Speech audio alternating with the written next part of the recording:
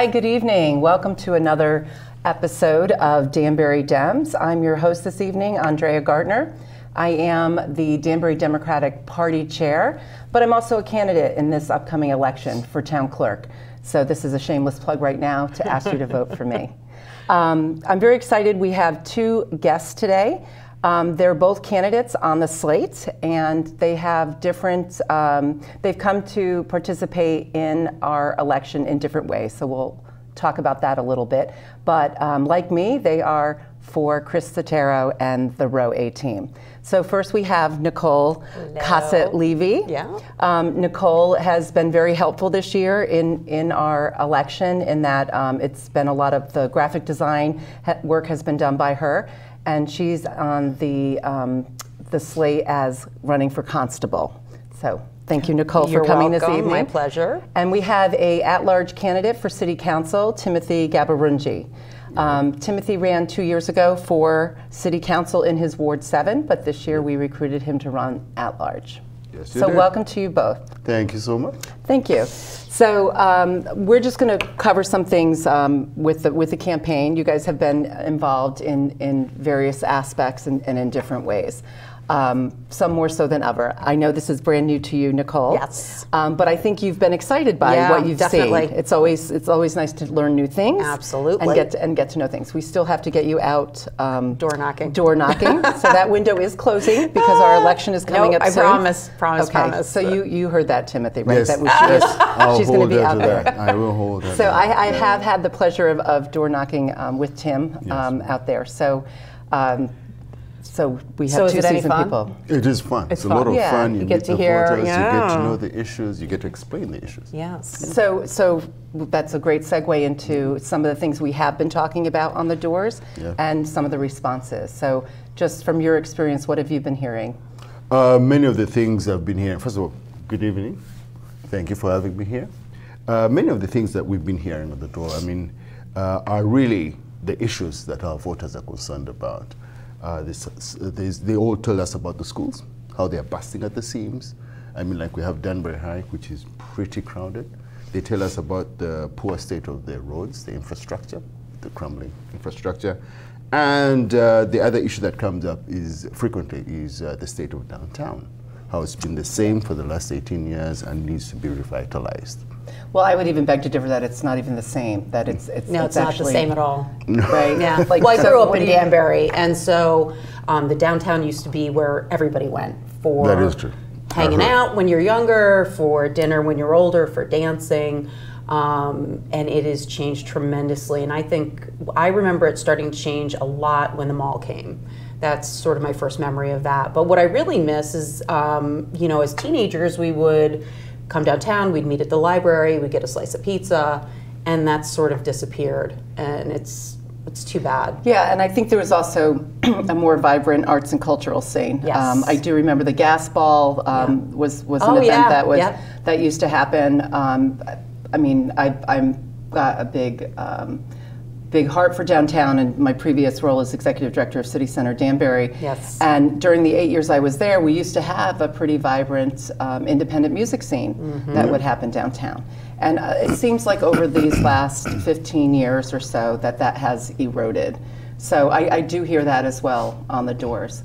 Um, now you have um, you have a student in the public school system, or Yeah, your kids and- have graduated. My kids have graduated, uh, out, gone out to UConn, but we did experience that. We got neighbors who are in the public school system, and we get all these comments. We do go knock. I did go door knocking with one of our colleagues. A volunteer comes out, chap, and uh, he was telling me about Danbury High, how they can't get through the hallways, how they get written up because they are late for getting to the next class.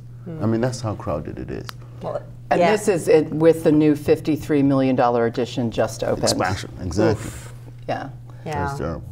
Yeah, and you do hear from a lot of people that move to the area that they're not thrilled with the school system. And that, again, I, I went through the public school system in Danbury, and it was it was pretty good then. But I know, and this is a long time ago now, but Danbury High was huge then and very intimidating as somebody coming into high school. So I can only imagine now how big this area has gotten and, and just population wise, kids coming into that school, it being very overwhelming and not a great way to start high school. You Yeah. know, It- a little over overwhelming and a little scary. And, and some of the facilities too. I mean, here we have a, a first-rate uh, track team, and just now getting uh, the tracks ready. I saw that recently tweeted out there. Although it's, it, I guess it's still track season, right? We're still Yeah, track season uh, here, yeah, I October, guess. going into November. yeah, certainly cross country, I'm sure. Um, and that's also something I've definitely been hearing um, at the doors too. Is is the state of the schools. yeah. Um, as far as the roads, Eek. eek. Oh. Yeah. Okay. Tell us more, Nicole. well, I work uh, literally right around the corner from where we are right now at, at uh, Comcast. And I spend time during the day driving. I have my morning coffee run every day, anywhere between 11 and 1. And it's, uh, you know, the word nightmare uh, seems like, a, but it's a nightmare. I mean, it really is just to get, you know, what uh, should take maybe four or five minutes takes 15. Um, because of congestion. It's, it's the congestion's The traffic. unbelievable, and you know the roads are not in great shape. I the the potholes are unbelievable. I get accused of actually aiming for the potholes when I drive, but I don't. But they're all over, so But they're all do over. I mean, yeah. the, the swerving you would have to do to stay out of the potholes is not safe either. But um, no, I just I, it's shocking, and and I live. Uh, down on West Wooster and those roads, that there are holes on some of our roads around there that you know you literally could break a wheel if you hit. So, and it feels like it's been that way for a long time. It's been like that. And they, though they have some roads, they have started to resurface them only now. Yes, when Which we're is- close to the election. Correct. And Yeah. also a little unfortunate. I noticed that too. Yeah, It is fall. Yeah. So guess what's happens? We are going towards winter. yeah, And when we're in winter, They're going to take a beating. yeah. because of the right, snow they're going to get plowed. So yeah. for all- all we've spent on the roads gets eroded. We don't get to enjoy it. Yeah, depending on the So, winter so we that's have. again points to again what Chris Setaro has been talking about all this time. Our candidate for mayor, planning, planning, Yes. planning, Yeah. good plans. Well, that's essential. I mean, the fact that there was no plan for the development that has occurred, and there was no plan for the school system to be bigger to handle the kids that obviously would come with the families or be born as new families were uh, moving into the area. And then the congestion. I mean, those the overdevelopment has really led to the school and Yeah, the road to the issue. quality of life yeah, issues. so that I think.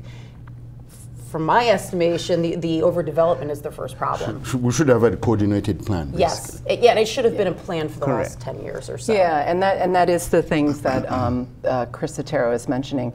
Um, you know, the, to, the planning, um, failing to plan is actually f- planning, Planning to to fail. fail. Yeah. And That right now true. we're seeing the result of all the Yeah. all the the stress on our quality of life when it comes to transportation and infrastructure and schools and and our downtown. Um, now, you know, a lot of people are concerned also that you know we talk about these these big bold ideas that if it, it really means like, well, how's that going to impact them?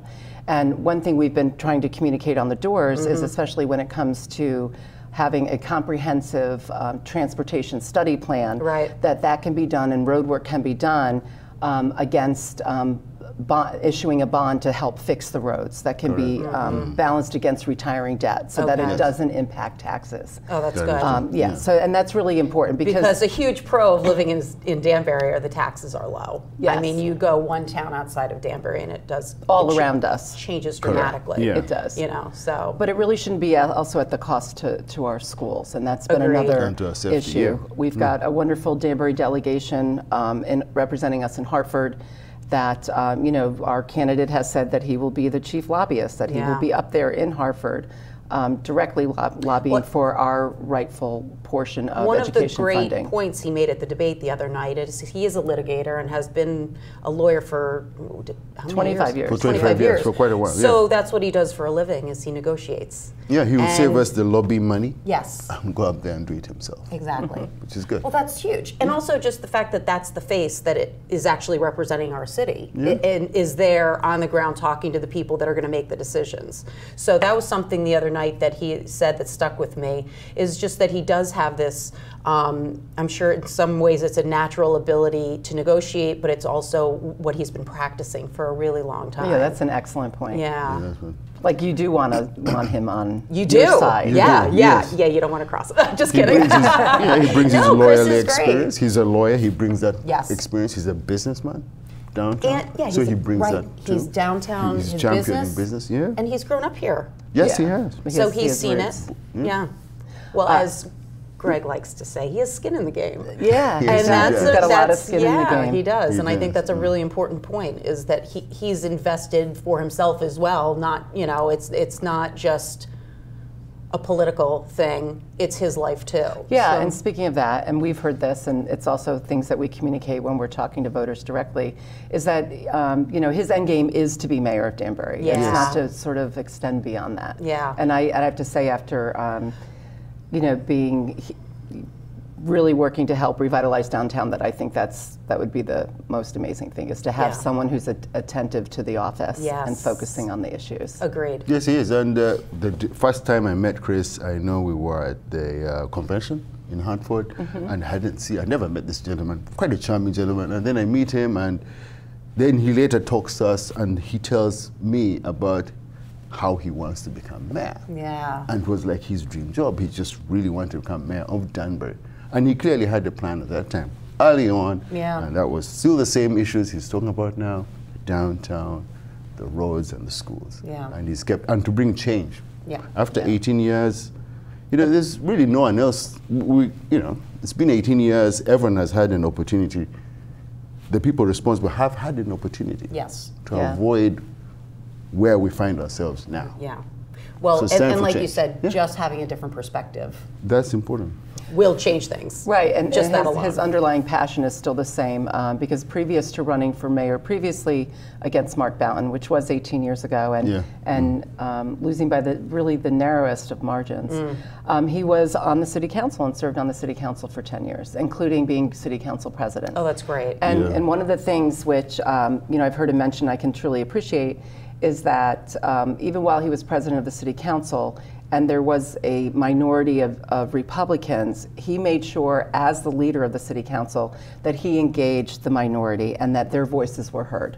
Um, I, I have So been it's reaching attending across the aisle. reaching across Yeah. the aisle Yeah. because I mean that's really what's best for the community. Absolutely. Um, I've been attending city council meetings for well over 10 years, and I am frustrated Mm-hmm. by um, how quickly the city council meetings go because there is a supermajority of Republicans that represent the city government, and there are items that are consent agended. More than half the agenda will be consent agended.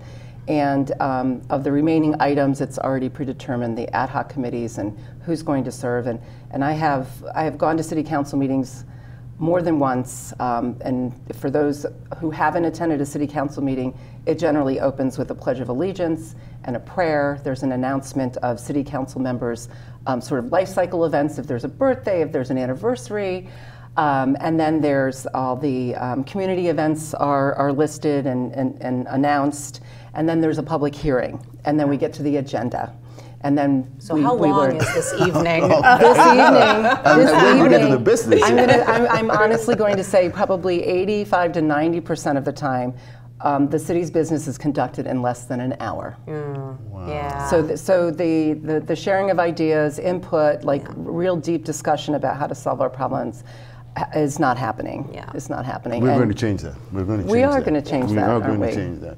One of our colleagues who's also standing for, where is in Ward 2, Elvis Novas? Yes, Elvis Remember, that's Novas in, he- in Ward 2. He stood up and said that at one of our meetings that he's not standing for the sake of becoming a councillor, but he's going to bring change Good. Yeah, and represent change. and change. represent change. So Yeah. we're going to change all this. City business will last much longer. What is Chris's Yeah. changes here? changes Changes here. Changes now. Changes Changes now. now. Yeah. You should know that. You've been printing all One our, would our good think. stuff. One would think I'd know it by heart. well, one of the things back to the transportation issue, not only Yeah. you know in, in your in where you're going for your coffee runs, Yeah. but also your business takes you in and around the city all over the place. Absolutely. Just trying to get to a meeting during the day, trying to see a client, make a delivery. It is it's really hectic and I have a son across town that you know that I pick up after school or take to his piano lesson at the Music Learning Center on Main Street, which is amazing. Yay. Uh, yay, I For love them. Yeah, yeah, exactly. like uh, again, it's that whole area. You know, a lot of us that grew up around here. It's uh, I'm I remember it all very fondly, and I like bringing Max downtown. Um, but anyway, back to the transportation. So getting from what shouldn't be that far of a distance from my workplace to Wooster School to, To meeting yeah to a meeting to drop him off. You know, it ends up you're in your car in a local area for an hour and a half. And that's frust- you haven't left the town, you know. Yeah, so that is so that gets yeah, that gets a little and you can you can feel it you know that energy just driving everybody has it because everybody's doing the same thing Correct. Yeah, it's all really something that's yeah. been resonating Yeah. with people. So, so Tim, I'm going to venture from your accent that you're not that you did not grow up in Danbury. No, I did not grow up Really? in that. No, I did not. No, it comes as a surprise. it was bethel right Actually, I did first start in Stamford, Connecticut, when I Oh. m- moved here in 2004. But uh, a few, actually, a few days ago, I did drive back to Stamford, and in the that? few years since, it's changed. Yeah. Yeah. the downtown especially has changed. Correct. And I was like, okay, why hasn't Danbury changed? Yeah. This is what we're talking about. Yeah. This is what we're talking This is about. what we're talking about. If Stamford could change, surely Stan, uh, Danbury we should change too. Yeah. So, so yeah. what brought you to Danbury? You you have children that you raised here. Correct, Yeah. yes. So at the time, uh, I wanted to buy because I was renting and I wanted to buy. And uh, Stamford was a little expensive, so came up north and I got a nice place for the size, for the money Mm-hmm. in Danbury. And it was a nice school. You know, the school district also was nice. Uh, you know, the children were younger. And uh, so it, it worked out just well. Mm. So nice family home and everything. A nice uh, uh, town home, nice Mm-hmm. neighborhood, was safe, looked good. And uh, I liked it. I, Well, and safety is important, Yeah. especially given um, from where you've come. I know we were at a forum, um, really that the students for a Dream had had Yes. um, hosted, and you shared a little bit of your story Yes. of, of connecting with people in our community who potentially right now might be worried about what the national rhetoric and Yes, what the rever- the reverberations of that are on our local community. So uh, you can share if you like. I, I was touched by it only because I think we need to be reminded. Oh yes, uh, yeah. I did uh, grow up. I, I was born and grew up in my native Uganda. At that time, uh, we did experience dictatorship, right?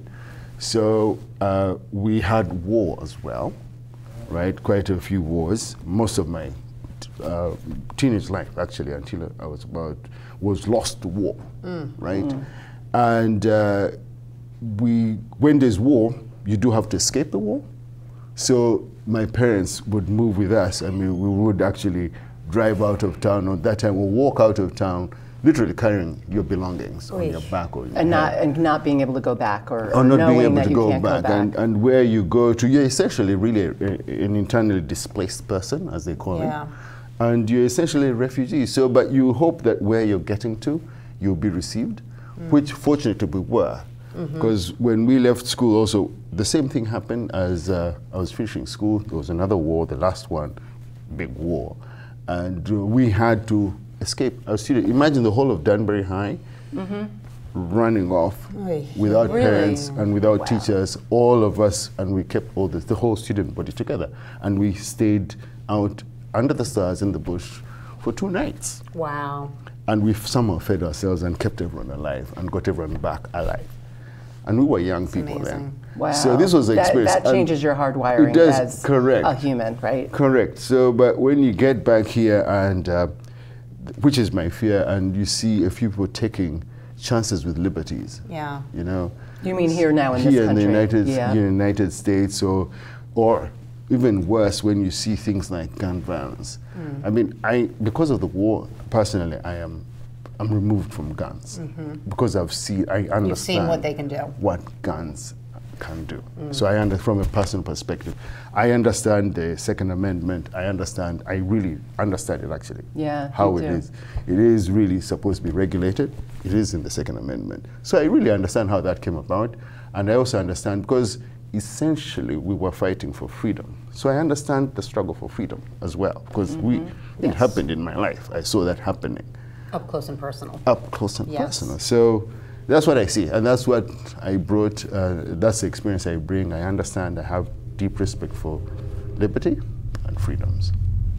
i bet No, that's incredible. Yeah. And in our particular, um, the context of um, what the, the forum was in was really um, mostly some of the our Latino community members, right, who might be um, have family who are at the borders, our, our southern Yeah. borders, and you, you said you, you really understand, I what those people at the borders are, are going Well, through. I, I mean, they, you do not run away with your child Unless, unless there is Yeah. a serious Yeah. force pushing you. yeah, You, you, you will you, will- you, you accommodate so much. yeah. But when there is threat to life and property, especially life, amazing things do. The human, the spirit, like I said, students, think of Danbury High. We just went out without parents or anything. yeah, for two days. We went out, incredible. walked out, mm. on our walking, just because you're very scared and very worried, and you don't know where your next meal is coming. You don't know where your shelter is coming from. You- Sounds terrifying. it is. It is. So when you see these people at the borders and they are kept in cages and stuff like that, Well, and you can feel removed from it when you're watching it on TV. You, It- it- the- it's, yeah. it- you know, Yeah. you, you're really coming at it from such a different perspective because you lived it, and even people, you know, every everybody has different feelings about it. And some people look at it and they don't feel anything about it, or think they, that um, immigrants have brought it upon themselves, Yeah, and they're not that- being good parents because they made this is- choice for is- themselves and their kids. And I think other people look at it, and um, even if you're looking at it through a television screen, you feel the pain of a parent taking their kid and Into an traveling unknown. an unknown Yeah. thousands of miles. And I've heard a few stories. I, I have a very close friend who immigrated here from um, Ecuador, and they literally walked for a month. And he was under a truck, holding on underneath a truck to get across the border, and has burns all over his arms from that uh, passage. I can't imagine how bad it was to put yourself through that Yeah. to get here. So, So we want to be more compassionate, I think, as I think community Yeah, members. yes, yes, it. and, and, Yeah. and understand that we've never experienced. A, a lot of us have never experienced anything like it, and to have that empathy for people, even if we're not, they're not like us, or we don't understand their lifestyle, or maybe we don't speak the same language. Um, that you extend that empathy and think about it, maybe from your own perspective, if you were in that situation. So. Well, and I think too that if, when we look at our Democratic slate, um, we do really do have a variety of people who represent all facets of the community. Yes, we do. And I think in the end, at least what we're committed to, I think as Danbury Democrats, is that um, we we focus on the values we want to hold in, in our in our community. So while we may be very different, there's 50 plus languages that are spoken by the Danbury Public School student body. yes. I. I, I believe we, we That's share, we have certain values that we all share and we want to promote within our city. Um, I don't necessarily feel that we have an administration now that is is creating an environment where we can share those those values of you know compassion and um, wanting to provide equitable access to resources for, Mm-hmm. for everybody and um, you know quality first rate education. Yeah, um, that, that's that's demonstrated. And also, you, you know, you, you mentioned something, but ha, uh, enjoying each other's culture, I think, would um, would lend to people understanding, like spending time with people from other cultures. yeah, there used to be an international Yeah. fest, that, which would be you know, amazing, and It's just amazing. That hasn't amazing. happened I in about 18 years. Yeah, well, it feels it feels a little segmented right now. People are, you know, sort of clinging to their people that are like them.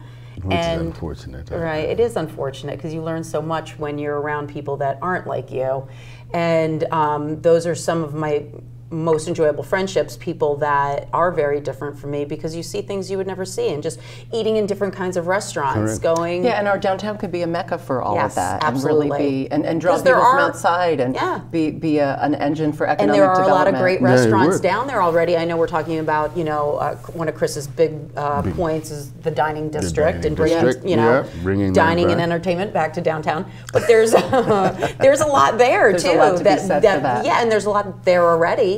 Um, you know, Brazilian and Ecuadorian and Portuguese and yeah, Honduran, Mexican. Yeah, like let's go downtown and Chinese, enjoy those. American, yeah. Andrea and I do. yeah, that's right. We, we, we head down there. yes, absolutely. So we, we only have um, we have a, a few minutes left, but um, and also just a few weeks left to the election. Oh, Yes, so, exciting. Um, I, Exciting. I of course encourage you to family, friends, neighbors, everyone, Yes. every everyone come out and participate. Um, so, because I think it's really important that we have civic engagement Yes. in our community. Yes. No matter who you're voting for, just get out and vote. Yeah, Very that's very true. So we're going to see you um, hitting the doors, right? we're going to actually. Absolutely. Maybe And- this and weekend. And I, and I also would say to anyone, Get excited, anyone Danbury. there, get excited because it really is so important to really connect with the voter. And Yeah. um, our candidate has been on the doors since April door knocking. Amazing. Um, we have hit, you know, uh, 6,500 households. We've Yeah. touched 15,000 voters so far. And uh, it really makes the difference because we really are on the front line of hearing what it is that concerns people in Danbury. And it really is about our education system, how we don't want to be 169th out of 169 per schools pupil in spending. per Yes. pupil spending. Yes. We want to change that. It's about our gotta change that, infrastructure, yeah. which is also an economic development um, component, and, and how we need to really have a comprehensive study with the roads. Um, that hasn't been done in 30 years. wow. Could have been done in the last 15, 18 years, but Yeah, Just saying. that would be good. Just saying. Yeah, just saying. Just Right. saying. Absolutely. Just saying. and also um, about our downtown and, and really seeing true revitalization there Yeah. and creating that as, as, Focusing as on a it. place. Because we have, I mean, I know you, you, you, you have a teenage son, you'd love to see him have, Would love it. you know, be able to find financial prosperity in Danbury. Would be great. Your children, right? Wouldn't it be nice if they came I back? would That'd like them nice also to be able back, to yeah. enjoy the downtown socially. Um, you know, I, the Palace Theater used to be amazing. If we had theater, if we had some play, Yep, there's some stuff street that yes, and- things and could of happen things like for that. sure. Well, good. So you guys have been Yeah, terrific. Um, quickly, I want to just say a huge thanks to Andrea. I've been watching her tirelessly work. She is no, a really, like I mean, tireless tirelessly. and fearless leader. Yes, and it's it's very inspiring. It is. you, you're killing it. Oh, jeez. Yeah. Well, we'll No, see. We'll amazing. See. We'll see You've done a great job. How, Yeah. How, how we move the dial. And- And, it's always a team effort. Yeah. It always Yeah. is. So um, for anyone who's watching, um, I do want to tell you that you can you can reach us. We have a, a Facebook page. Um, we have um, Danbury Democrats Facebook page, danburydemocrats.com. Um, we are phone banking every night. Stop by headquarters. Um, we still have signs. If you want signs, come and pick up a sign. To, We need to- more yard signs out there. Yard signs. It's, it's, it's a big battle out there with the signs. We'd be glad to give you more signs. And um, phone, like I said, phone banking, canvassing. Um, the next couple of weeks, we're amping it up. We're going to be having our, our, our Get Out the Vote rally October 26th at Hatters Park. Oh, so fun. be sure Yeah. to be that. So I thank there. you so much, Nicole Thank Casalini you. for constable Thank you. and Thank Tim you so for City Council at Large. Thank, Thank you. you. Thank you Thank so you. much. Pleasure. Pleasure of mine.